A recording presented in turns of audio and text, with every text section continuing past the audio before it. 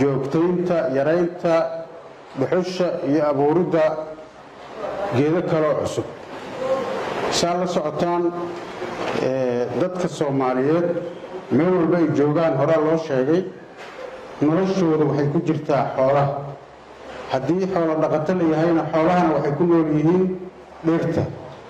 Haddii dhirtii ay baabaado xoolihii waa baaba'ayan soomaaliya maanta waxa soo wadageliyey magaalada isugu keenay oo waxaana duruuf iyo dhibaataa keenay abaaraha weye ilaahay abaarha naga koriyo laakiin abaaraha weye abaaraha waa wax maqaadiira laakiin waxaa sababo jarista dhirtay qayb ka tahay.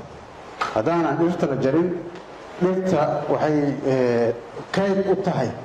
Markii uu roobka imaanin tii horey kayd u tahay oo ummadda iyo xoolo dhaqatadaba ay ku badbaadayaan. Haddii marka dhirtii la jaro wax yar oo adkaysi abaareeda ma jiraayo marka jarista dhirta aan joojinno dhuxul muhiim ma aha. Annaga maana u baahnin inaan dhuxul aan dab ku shidanno weliga annagaan dab shidan jirnay dhuxulna laguma shidan jirin. Si kaloo ka fiican baan ku soo kornay.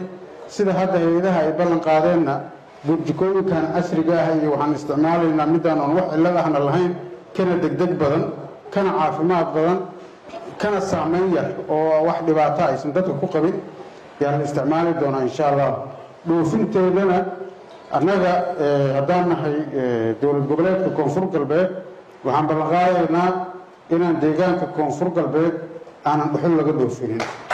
Meelaha aan mas'uul ka nahay waxaa jirto degmada baraawe. Waxaan ugu tagnay dhuxul tiro badan. Oo aad moodo kuwaan hadda meesha ku sawiran in ayagiba la soo saan oo kale ah.